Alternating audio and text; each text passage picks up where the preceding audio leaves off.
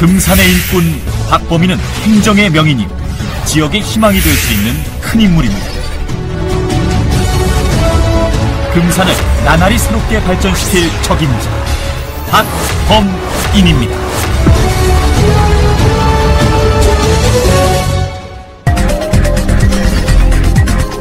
금산 토박이 박범인은 남일면에서 태어나 유년 시절과 청장년기를 지역에서 성장했습니다.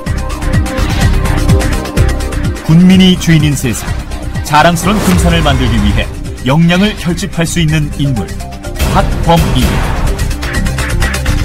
31년 동안 공직에 몸담으며 오로지 금산 발전을 위해 일했습니다.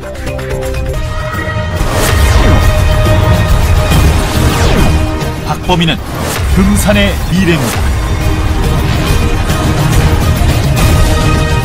박범인과 함께하면 금산 나날이 새로워질 것입니다.